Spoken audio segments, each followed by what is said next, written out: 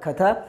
अब इस Thomson model के थॉमसन मॉडल की कुछ कमियाँ थी। कमियाँ क्या थी कि ये केवल ये एक्सप्लेन कर पाया था, या मैं ऐसे कहूँ कि ये केवल ये एक्सप्लेन कर पाया था कि इलेक्ट्रॉन्स के अरेंजमेंट को तो बता दिया, लेकिन प्रोटॉन्स एवं न्यूट्रॉन का अरेंजमेंट को एक्सप्लेन नहीं कर पाए थे। ये मैं आपको पिछले क्लास के अंदर में लिखवा दिया था। फिर हमने बोर के, बोर का मॉडल पढ़ने वाले थे, जिसका मैं बता दिया था कि बोर का जो मॉडल दिया था, वो किस एक्सपेरिमेंट के द्वारा दिया गया था? मतलब कैसे उन्होंने पहले एक्सपेरिमेंट किया और उसके बाद अपना मॉडल उन्होंने दिया। तो वही आज हम लोग पढ़ने वाले हैं। कल मैं आपको दिखा दिया था बेटा क्या? ये सिखा दिया था कि उसका एक्सपेरिमेंट किस तरह से हुआ था। और उस एक्सपेरिमेंट के द्वारा उन्होंने क्या क्या कंक्लूजन निकाला था? आज एग्जैक्ट बोर परमाणु मॉडल पढ़ने वाले हैं। नहीं sorry sorry Rutherford atomic model पढ़ने वाले हैं। और इसमें ये लिखने वाले हैं कि जो एक्सपेरिमेंट के द्वारा उन्होंने कंक्लूजन निकाला था कंक्लूजन लगाने के बाद उन्होंने कैसे मॉडल में क्या क्या स्टेटमेंट है? देखना, अब आपकी बहुत बेसिक स्टम शुरू हो चुके हैं। ये चीज़ आपको हंड्रेड परसेंट समझ में आनी चाहिए। कहीं पर भी डाउट होगा, ज़रूर मैसेज करके पूछ लेना। नहीं तो गड़बड़ हो जाएगा बेटा, क्योंकि अगर यहाँ आप मिस करते हैं तो 100 परसेंट आगे जाके आपको प्रॉब्लम होने वाला होगा। इसलिए आप ऐसा कोशिश करना कि आपको सारे के सारे बातें क्लियर हो और मैं भी ऐसे कोशिश करूँगा कि आपका जो हेजिटेशन है, जो बच्चे पूछ नहीं पाते हैं क्लासेस के अंदर में, वो उनको भी ये बातें आसानी से समझ में आ जाए। पर आपको आप तो दूर हो, बहुत बच्चे क्या है सामने बोल नहीं पाते हैं। पर मैसेज में तो कर सकते हो, आपको तो मैं जानता भी नहीं हूँ, आप कहाँ बस बैठे हो, किसके साथ बैठे हो क्या कर रहे हैं, मुझे पता नहीं है। तो आप चाहो तो वहाँ से डायरेक्ट पूछ सकते हो, अगर नहीं, लेकिन कोशिश तो यही करता हूँ कि आपको कन्फ्यूज़न ना रह जाए लेकिन फिर भी उसके बाद रह जाते तो अलग बात है। हाँ बेटा एक चीज़ और मैं आपको बताना चाह रहा था। बहुत सारे बच्चों ने अभी तक बुक्स नहीं लिया होगा। यस और नो जरा एक बार बताओ क्योंकि आपको मैं ना कुछ बुक्स प्रोवाइड करने वाला हूँ खुद से ही। आ, चार पाँच बुक्स पहले मुझे बता दो कि आपने बुक्स लिया है कि नहीं? बहुत लोगों ने नहीं लिया होगा मेरे ख्याल से। ये बात मुझे बाद में कोई बात नहीं। नेक्स्ट चलते बेटा रदर फोर्ड मॉडल की ओर। रदर फोर्ड मॉडल देखो क्या कहता है। बहुत सिंपल सा स्टेटमेंट है, इसका कहना ये था कि, भाई, कल हम लोग जब रदर फोर्ड का एक्सपेरिमेंट पढ़ रहे थे तो हमने ये पाया था कि जब उन्होंने एक एटम के थ्रू एटम से होकर किसी अल्फ़ा रेज को हीलियम न्यूक्लियाई को पास कराया था तो उन्होंने ये देखा कि कुछ रेडिएशन एटम से होकर आर पार निकल जा रहे थे। कुछ डेविएट हो रहे थे और बहुत कम मतलब लगभग एक या दो रेडिएशन ऐसे थे जो वहाँ पर जाके टकराए और टकराने के बाद 180 डिग्री पर वापस आ गए। ऐसे मैंने लिखवा दिया था। तो इस एक्सपेरिमेंट के द्वारा उन्होंने क्या कंक्लूजन निकाला था, वो मैं अभी आपको समझाता हूँ। देखिएगा, अगर आप धीरे से स्टेटमेंट को समझना चाहें, मैं साइड में लिख रहा हूँ। देखिएगा, ये है बेटा, उन्होंने ये बोल के रखा था कि एटम एक्चुअल में दो पार्ट से मिलकर बना होता है। देखिए कैसे एक पार्ट को हम बोलेंगे सेंटर, या इसको बोल सकते हैं न्यूक्लियस पार्ट। तो इनका यही स्टेटमेंट था कि मेरे एक्सपेरिमेंट के द्वारा मुझे ऐसा लग रहा है कि एटम को हम दो पार्ट में डिवाइड कर सकते हैं, जिसका पहला पार्ट को हम लोग बोलना पसंद करेंगे न्यूक्लियर रीजन। हिंदी में क्या बोलेंगे इसे? इसे हम बोलेंगे नाभिकीय क्षेत्र। इसी तरह से इसके अलावा कि ये न्यूक्लियस रीजन के अलावा इसके बाहर वाला पार्ट जो बच गया है मतलब देखो, ये जो पार्ट यहाँ से दिखाई दे रहा है, इस पार्ट को उन्होंने क्या बोल के रखा था? Nucleus region. और इसके बाहर जो एटम का भाग बच जाता है, जिससे अल्फ़ा रेज आर पार निकल जा रहे थे, उस पार्ट को उन्होंने बोला था एक्स्ट्रा न्यूक्लियस रीजन तो ये बात तो समझ में आ गया कि ये एटम दो पार्ट से मिलकर बना होता है। न्यूक्लियर रीजन एवं दूसरा एक्स्ट्रा न्यूक्लियस रीजन थर्ड उसके बाद इन्होंने ये बताया था कि न्यूक्लियस रीजन के अंदर में मतलब कि इसके अंदर में केवल दो पार्टिकल्स पाए जाते हैं। हालाँकि दो, उस समय की बात है। बाद में तो और आपको बताऊँ कितने प्रकार के पार्टिकल पाए जाते हैं। लेकिन अभी तक आपने जो नाइन्थ क्लास के अंदर में सीखा, वही बेसिक्स चल रहा है। तो फ़िलहाल मैं ये बता देते हैं कि न्यूक्लियस रीजन में या न्यूक्लियस पार्ट के अंदर में दो टाइप के पार्टिकल पाए जाते हैं प्रोटोन एवं न्यूट्रॉन ये किस बेस पर कहा था, ये भी मैं आपको समझाऊँगा। दूसरी बात, जो कि एक्स्ट्रा न्यूक्लियस रीजन है, इस एक्स्ट्रा न्यूक्लियस रीजन के अंदर में केवल एक ही पार्टिकल पाए जाते हैं और उनका नाम है इलेक्ट्रॉन्स तो ये बात तो आपको कंफर्म समझ में आ गया कि एटम के सेंटर वाले पार्ट में प्रोटॉन और न्यूट्रॉन पाए जाते हैं, जबकि उसके बाहरी वाले भाग को जिसको हमने बोल रखा है एक्स्ट्रा न्यूक्लियस रीजन इसके अंदर में इलेक्ट्रॉन्स प्रेजेंट होते हैं। तो चलो, हम इसको स्टेटमेंट वाइज लिखते जाते हैं। क्या क्या मैंने आपको बताया है? चलिएगा वन बाय वन करके। तो पहला पॉइंट तो इनका यही कहना था कि इस मॉडल के अनुसार एटम दो पार्ट से मिलकर बना होता है। तो लिखिए मेरे साथ। लिखना, इस मॉडल के अनुसार, अरे यार फ़ोन आ गई। हाँ भाई, अरे कॉल आ जाता, बेटा तो गड़बड़ हो जाता कुछ। ठीक है? हाँ क्या लिखना है? कि इस मॉडल के अनुसार, इस मॉडल के अनुसार या अकॉर्डिंग एटम टू पार्ट से मिलकर बनता है। टू पार्ट से मिलकर बना होता है। कौन कौन सा ए को बोलेंगे? न्यूक्लियस रीजन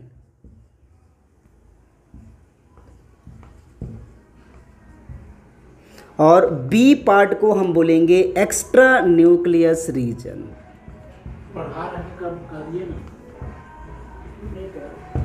ठीक है बेटा? एक न्यूक्लियस रीजन और दूसरा मैंने बोल रखा है एक्स्ट्रा न्यूक्लियस रीजन तो आगे हम लोग क्या एक्सप्लेन करने वाले हैं देखिएगा.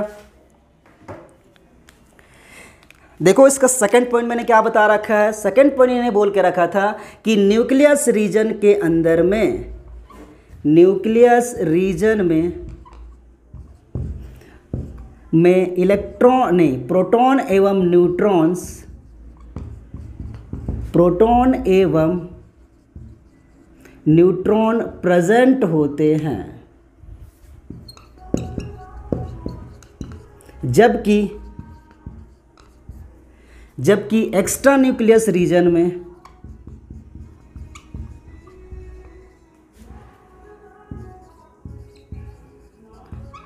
एक्स्ट्रा न्यूक्लियस रीजन में इलेक्ट्रॉन प्रेजेंट होते हैं।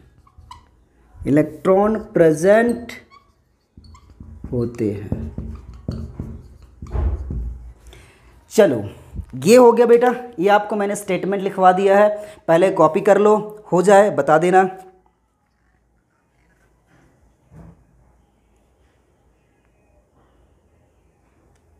वीडियो आप बोल रहे हो कि क्लियर नहीं आ रहा है, मेरे में तो क्लियर आ रहा है बेटा, मैं जो देख रहा हूँ इसमें तो क्लियर है, बिल्कुल क्लियर आ रहा है। ये कौन बोल रही हैं? दीक्षा विश्वकर्मा बोल रही हैं, क्लियर नहीं आ रहा है, और वहीं बार बार बोल रही हैं। हो सकता है आपके यहाँ नेटवर्क प्रॉब्लम हो। हाँ बेटा नेक्स्ट चलते हैं, आज पानी भी आया ना, इस वजह से थोड़ा सा प्रॉब्लम हो सकता है। थर्ड पॉइंट देखिएगा थर्ड पॉइंट आपको बहुत इंपॉर्टेंट पॉइंट बताता हूँ, यहाँ पर समझते हैं पहले। देखो, उन्होंने ये बोला कि एक्स्ट्रा न्यूक्लियस रीजन के अंदर में जो इलेक्ट्रॉन्स पाए जाते हैं, वो इलेक्ट्रॉन स्टेशनरी नहीं होते मतलब स्थिर नहीं होते हैं, बल्कि ये हाई वेलोसिटी के साथ, उच्च वेग के साथ न्यूक्लियस के अराउंड रिवॉल्व करते रहते हैं। या मैं हिंदी में बोलूँ तो ये बोल सकता हूँ कि इलेक्ट्रॉन स्थिर ना होकर के न्यूक्लियस के चारों ओर लगातार घूमते रहते हैं। यही हम लोग थर्ड पॉइंट लिखने वाले हैं। क्या मतलब? मैं ये बताया कि इलेक्ट्रॉन्स अगर इसके चारों ओर स्टेशनरी ना रह के ये लगातार ऐसे घूमते रहते हैं। ठीक है? तो आगे यहीं पर हम लोग लिखने वाले हैं। लिखिएगा जरा मेरे साथ साथ कि इलेक्ट्रॉन्स इलेक्ट्रॉन्स स्टेशनरी स्टेट में नहीं इलेक्ट्रॉन ऐसे लिख लेते हैं। इलेक्ट्रॉन्स न्यूक्लियस के चारों ओर न्यूक्लियस के चारों ओर हाई वेलोसिटी के साथ, हाई वेलोसिटी के साथ के साथ लगातार लगातार मूव करते रहते हैं या मैं रिवॉल्व रिवॉल्व मतलब घूमना होता है। लगातार रिवॉल्व करते रहते हैं। ओके okay, ये थर्ड पॉइंट हो गया बेटा चौथा पॉइंट हम लोग लिखने वाले हैं। वो आप आसानी से लिख सकते हो। देखो मैं पहले दूसरा पॉइंट को रफ कर रहा हूँ। तब तक आप तीसरे कॉपी को तीसरे पॉइंट को कॉपी करो।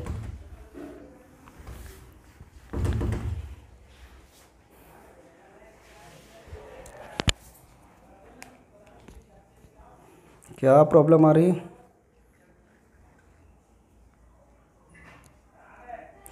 हाई के बाद क्या लिखा है? हाई वेलोसिटी लिखा हो बेटा, उच्च वेग लिख सकते हो। इसकी राइटिंग थोड़ा समझ में नहीं आ रहा तो वेलोसिटी लिखा हो velocity. T C I T Y है स्पेलिंग हाँ हाई वेलोसिटी के साथ लगातार रिवॉल्व करते रहते हैं। चलो, फोर्थ पॉइंट लिखते हैं। फोर्थ पॉइंट समझिएगा, बहुत इंपॉर्टेंट पॉइंट है ये। अब आपसे मैं पूछूँ बेटा, देखिएगा कि क्या मैं बोल सकता हूँ कि बताओ न्यूक्लियस का पार्ट तो बहुत कम दिखाई दे रहा होगा, लेकिन एक्स्ट्रा न्यूक्लियस का जो पार्ट है, वो बहुत ज़्यादा दिखाई दे रहा था इसीलिए उन्होंने ये बोल के रखा था कि न्यूक्लियस रीजन या nucleus region extra nucleus region के कंपेयर में बहुत कम होता है। या ऐसे मैं बोल सकता हूँ कि न्यूक्लियस का साइज़ एटम की तुलना में बहुत कम होता है। तो यहाँ पर लिख लीजिएगा कि द अच्छा इंग्लिश हिंदी लिखवाना पड़ेगा ना तो लिख लेते हैं यहाँ पर कि न्यूक्लियस ऐसे बोल सकते हैं। हाँ न्यूक्लियस की साइज़, न्यूक्लियस की साइज़ एटम की तुलना में, एटम के कंपेयर में कंपेयर में बहुत छोटा होता है।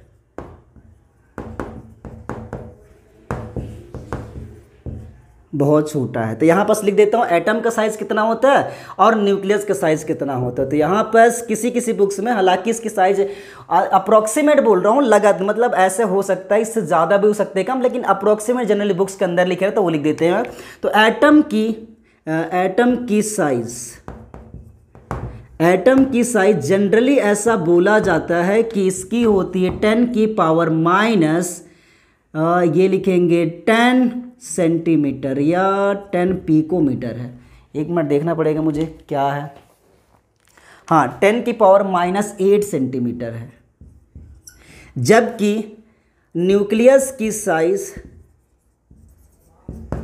न्यूक्लियस की साइज़ कितना है? टेन की power minus thirteen centimetre ten की पावर माइनस थर्टीन सेंटीमीटर ये पॉइंट आपको याद रखने की ज़रूरत नहीं है।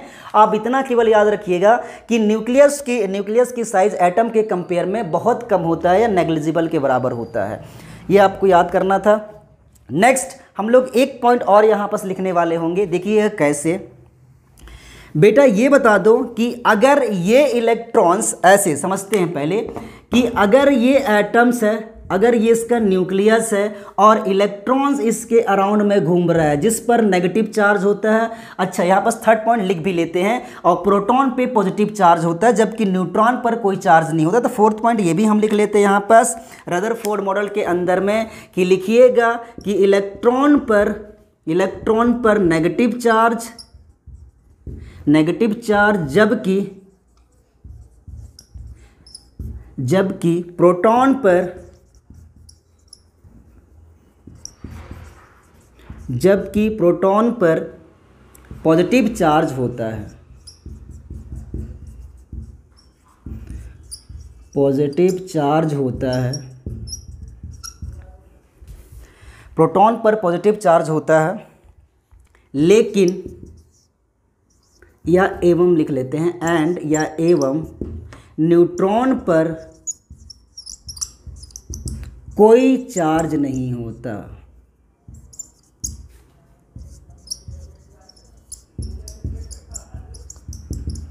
नहीं होता है। बस ये हम लोग को लिखना था फिफ्थ पॉइंट एक पॉइंट और लिख लेते हैं सिक्स पॉइंट आज भी मुझे कमी दिखाई दे रहा है स्टूडेंट पानी आ गई इस वजह से क्या?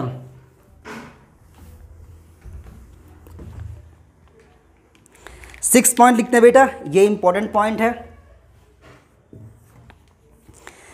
ये पॉइंट ये लिखना है कि भाई इलेक्ट्रॉन्स अगर न्यूक्लियस के चारों ओर घूम रहा है तो क्यों घूम रहा है?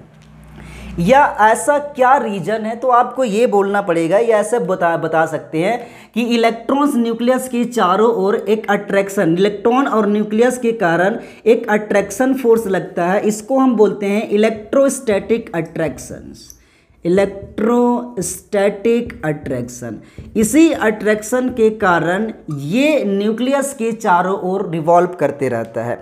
एक प्रॉब्लम और आने की चांसेस है यहाँ पर। आप जो जो थोड़ा एडवांस दिमाग लग सकते हैं, वो ये बोलेंगे कि इलेक्ट्रॉन्स पर नेगेटिव चार्ज है और प्रोटॉन पर पॉजिटिव चार्ज है। तो 100 परसेंट इलेक्ट्रॉन्स को न्यूक्लियस में आके गिर जाना चाहिए। लेकिन ऐसा नहीं होता है। तो क्यों नहीं होता? वो आपको मैं बाद में समझाऊँगा। लेकिन फ़िलहाल में हम यही लिख सकते हैं कि इलेक्ट्रॉन्स और न्यूक्लियस के बीच हाई अट्रैक्शन फोर्स लगने के कारण या सेंट्रीफ्यूगल फोर्स के कारण इलेक्ट्रॉन्स न्यूक्लियस के चारों ओर रिवॉल्व करते रहते देखिए कैसे? आप एक बाल्टी लीजिएगा। उस बाल्टी में पानी को जम से ऐसे घुमा दीजिए। बीट में गड्ढा हो जाता है देखिएगा। सेम उस फोर्स को हम सेंट्रीफ्यूगल फोर्स बोलते हैं। इसी सेंट्रीफ्यूगल फोर्स के कारण ही इलेक्ट्रॉन्स न्यूक्लियस के द्वारा बैलेंस रहता है और बैलेंस होने का लगातार घूमते रहता है। तो यही पॉइंट हम लोग लिखने वाले हैं। क्या लिखेंगे कि घूम इलेक्ट्रॉन्स इलेक्ट्रॉन्स एवं न्यूक्लियस के बीच न्यूक्लियस के बीच न्यूक्लियस के बीच सेंट्रीफ्यूगल फोर्स। या ऐसे लिख सकते हैं electrostatic electrostatic attraction force attraction force के कारण इलेक्ट्रॉन्स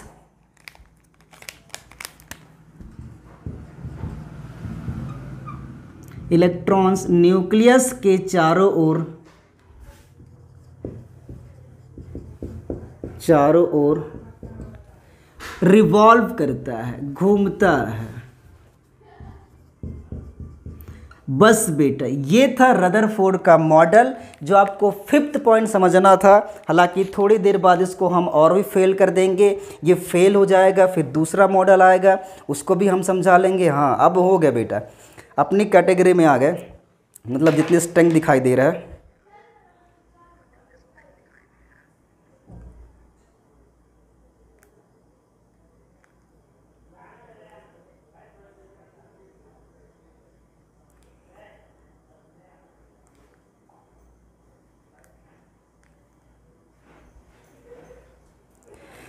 चलिए, हो जाएगा बता देना।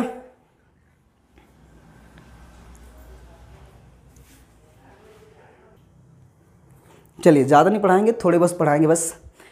तो एक चीज़ और चलते बेटा, इसको रफ करते हैं, ये मॉडल आपको समझा दिया हूँ। यहाँ बस एक इसकी ड्रॉबैक था। क्या ड्रॉबैक था वो आप समझिएगा।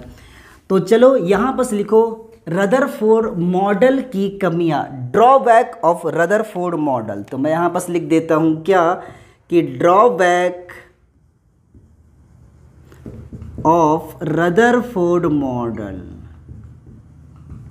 Rutherford model ये क्या था बेटा? बहुत इजी सा सिस्टम्स है, इसको वन बाय एक्सप्लेन कर लेंगे। देखो, इनकी क्या प्रॉब्लम था? ये प्रॉब्लम एक्चुअल में क्रिएट किया था मैक्सवेल नामक साइंटिस्ट ने। उन्होंने ये बोला था कि देखो, अगर कभी भी कोई चार्ज पार्टिकल्स दूसरे चार्ज पार्टिकल के अराउंड रिवॉल्व करता है मतलब ऐसे बोल देते फिजिक्स का कॉन्सेप्ट है ये प्लस क्यू है बेटा? क्यू को मैं चार्ज बोल रहा हूँ? ये एक चार्ज पार्टिकल है। इसी चार्ज पार्टिकल के रिस्पेक्ट में, इसी के सापेक्ष कोई दूसरा चार्ज पार्टिकल अगर इसके चारों ओर घूमता है तो इसकी एनर्जी लगातार कम हो जाती, उसकी एनर्जी लगातार कम होती जाए। देखो मैं क्या बताया हूँ कि ये चार्ज पार्टिकल क्यू है? इसी का एक दूसरा चार्ज पार्टिकल में क्यू? इसको वन मान लो, इसको आप टू मान लो। अगर ये क्यू Q2 इसी चार्ज पार्टिकल के अराउंड अगर घूमेगा तो इसकी एनर्जी लगातार कम होती जाएगी। उन्होंने ऐसा बोला था। किन्होंने बोल के रखा था ऐसा? उनका नाम था मैक्सवेल। उन्होंने एक्सपेरिमेंट सही, बात भी सही है। तो मतलब ये है बेटा कि अगर इसकी एनर्जी लगातार कम होगी तो जब ये दूसरी बार घूमेगा तो इसकी एनर्जी थोड़ा सा डाउन हो जाएगी कुछ इस तरह से। उसके बाद लगातार कम कम कम करके कहाँ हो जाएगा? यहाँ आके गिर जाएगा। ऐ बात सही भी है। तो इसी तरह से अगर आप देखोगे तो एक एटम के अंदर में न्यूक्लियस कर पॉजिटिव चार्ज था और एक इलेक्ट्रॉन्स इसके चारों ओर लगातार घूम रहा था। आप बात को मानते हो, ये बात भी सही है। तो ये बता दो कि अगर ऐसा हुआ तो एक्सपेरिमेंट जो मैं पहले आपको बताया मैक्सवेल का एक्सपेरिमेंट वो 100 परसेंट सही है। तो इसके अकॉर्डिंग ये इलेक्ट्रॉन्स की, अगर ये इलेक्ट्रॉन्स न्यूक्लियस के चारों ओर लगातार घूमेगा तो इसकी एनर्जी कम होनी चाहिए। और अगर इसकी एनर्जी लगातार कम होगी तो 100 परसेंट इलेक्ट्रॉन्स जब पहले चक्कर ऐसे लगा रहा था तो उसकी एनर्जी इतनी थी, जब दूसरा लगाएगा तो थोड़ी और कम हो जाएगा, जब तीसरा लगाएगा तो और कम होते जाएगा, चौथा लगाएगा तो और कम होते जाएगा, पांचवा लगाएगा तो और कम होते जाएगा। मतलब कि जैसा जल्दी जितना, जितनी रिवॉल्व करते जाएगी, उस इलेक्ट्रॉन्स की उतना एनर्जी कम होते जाएगा।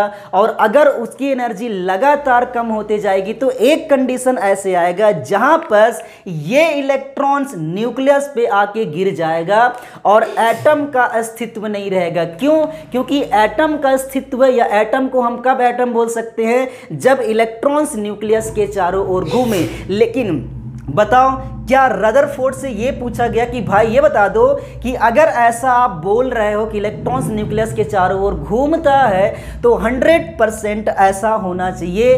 तो उन्होंने ये एक्सप्लेनेशन नहीं कर पाया कि क्यों एक चार्ज पार्टिकल दूसरे चार्ज पार्टिकल के अराउंड या इलेक्ट्रॉन न्यूक्लियस के चारों ओर घूम रहा है तो उसकी एनर्जी क्यों कम नहीं होती है? यही उसकी ड्रॉबैक था। इसका साफ़ मतलब ये हुआ कि रदरफोर्ड एटम के स्टेबिलिटी को एक्सप्लेन नहीं कर पाया। इसी एक्सपेरिमेंट के द्वारा ही तो यहाँ पर लिख लेते हैं, क्या ड्रॉबैक नंबर वन लिखना कि रदरफोर्ड या यह मॉडल लिख लेते हैं।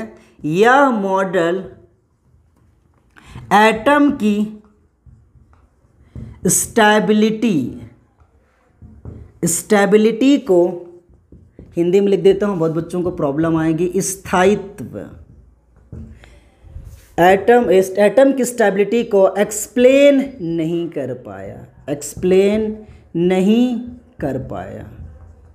एक और है इसका ड्रॉबैक कि ये हाइड्रोजन स्पेक्ट्रम को एक्सप्लेन नहीं कर पाया। वो देखेंगे बाद में, लेकिन फ़िलहाल में लिख भी सकते हैं दूसरा पॉइंट लिखना। या एटॉमिक स्पेक्ट्रम या मैं ऐसे बोल दूँ कि यह हाइड्रोजन स्पेक्ट्रम को स्पेक्ट्रम का होता है, वो बात का टॉपिक मैं आपको समझाऊँगा। या हाइड्रोजन स्पेक्ट्रम को एक्सप्लेन नहीं कर पाया, ये भी बात है। एक्सप्लेन नहीं कर पाया। या हाइड्रोजन स्पेक्ट्रम नहीं बोल तो लिख सकते हो, या हाइड्रोजन स्पेक्ट्रम को एक्सप्लेन नहीं कर पाया। क्यों? अब हम बताएँगे आपको। ये आपको पढ़ा जाएगा बोर परमाणु मॉडल बोर एटॉमिक मॉडल के अंदर में। तो मैंने ये चीज़ आपको समझा दी बेटा, ये आपको याद रखना पड़ेगा। ये चीज़ें कभी कभी क्वेश्चंस में डायरेक्ट पूछ लिए जाते हैं।